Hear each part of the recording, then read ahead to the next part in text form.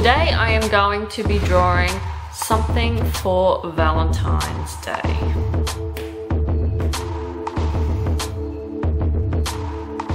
I didn't want to get too caught up in the history of Valentine's Day because there is a lot of different versions and there's a lot of different stories on the history of Saint Valentine. But the one that I have read that Saint Valentine was a priest and he was arranging marriages in secret. And he ended up falling in love with uh, a jailer's daughter. And uh, yeah, he was ended up he ended up being executed on the 14th of February, and he had sent a letter to her signed at the end of it from your Valentine.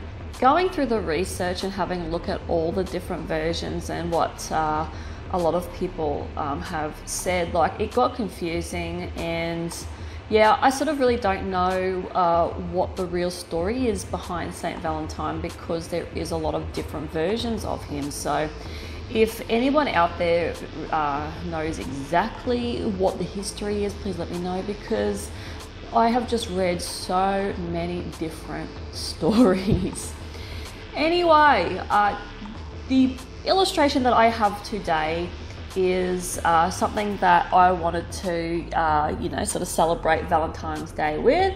It is an illustration uh, about a, um, a woman who is on the right, and then she's got a man on the left who is sort of missing uh, one part of his arm and uh, his hand. And basically, what she has done is she has constructed her own perfect man for herself. So she had gone away and built this guy from the best parts of different men that she liked the qualities in, and she put it into one man. Now she is trying to bring him to life. And the way that she is doing that is by connecting her heart to his heart and trying to bring him to life with all the love that she wants to feel and then that she feels for this man. And hopefully, she is going to get her wish.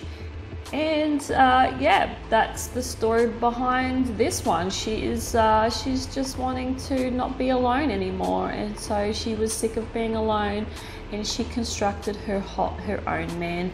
Maybe she had been hurt by the past men, and this is where she decided to create her own so she could have the perfect guy for her for herself.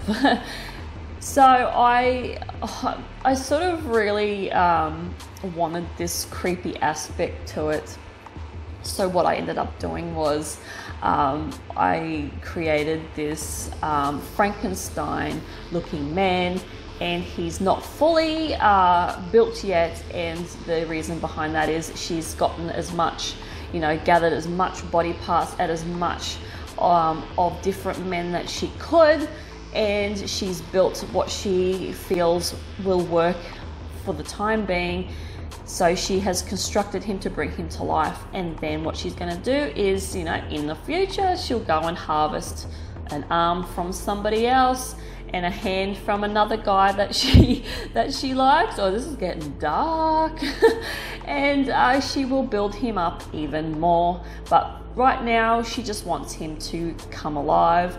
And then, hey, maybe he can pick his own body parts. You know, he could pick his own arm. Maybe he wants some sort of like cybernetic uh, cyborg kind of arm, or maybe he can pick his own arm from someone uh, that they can harvest it from you know, there's different uh, ways of looking at it.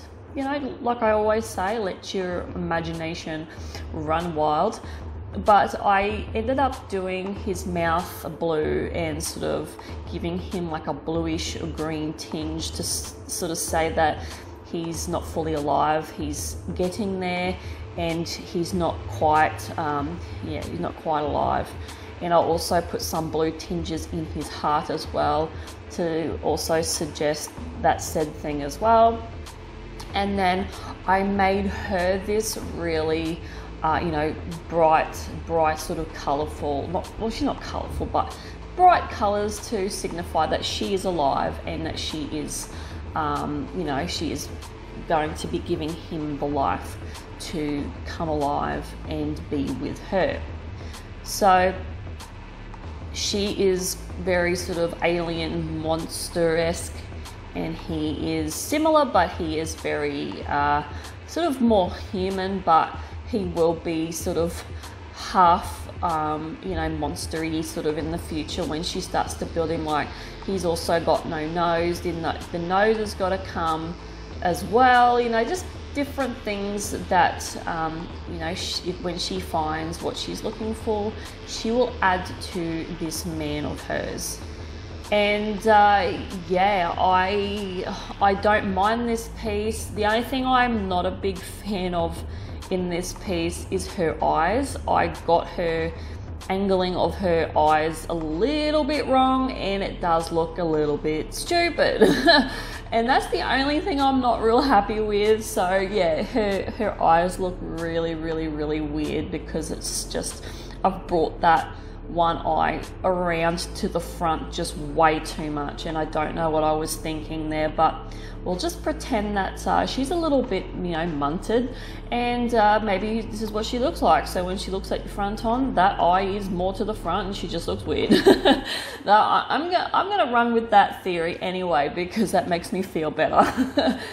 I had a lot of fun uh, creating the creepy aspect to this, and uh, yeah, just designing something um, a bit weird and having like this uh, chick who's very alien, robot, sort of monster esque looking, and uh, yeah, she's just bringing this guy to life and she doesn't want to be alone anymore. so, uh, what are you guys got planned for uh, Valentine's Day? I'm not a really huge romantic person. Um, like I do, I do. Uh, I, I sort of get a little bit awkward in uh, romantic moments. Uh, so, yeah, I, am I'm, I'm very awkward in that respect. So, I sort of don't know how to act or anything. So, I've never been like really big on on romance for that side of things. On just the awkward side. So. Um, yeah, it, I do like sitting down and having a nice dinner and and all that sort of stuff. But um, as for like the really mushy, gooey sort of stuff, um, yeah, I do find it a little bit sickening, and um, I, I, I can't even really um, watch a lot of real sort of romance, romantic movies. Uh, it just sort of I, I, don't know. I, I sort of feel a bit like, oh, this is a little bit pathetic, and uh, yeah, that's just that's just me because, like I said, um, this I'm just awkward in that respect. But um, yeah, I'm I'm more I'm just more just like normal and and just like to just have a great time, sit down, have some food, and uh, you know just do all that sort of stuff. So yeah, uh, but I'd like to hear what you guys are going to be doing. Are you getting spoilt? Are you getting, um, yeah, are you getting spoilt for the night? Are you getting, you know, rose petals dropped on the floor as you walk into the bedroom? I don't know. I don't know what happens in those sort of romantic uh, scenarios. So, anyway, I'm finishing this illustration off with some gold accents, and um, I really enjoyed this part, sort of bringing the uh, the the gold accents into it. This was kind of like a, a, last minute decision when I was in the sketch process. Um, I thought it'd be a nice touch to um, make it look very pretty. So that is my final illustration there. Hopefully you enjoyed it and hopefully you have a wonderful Valentine's Day and I will see you guys in the next one. Bye.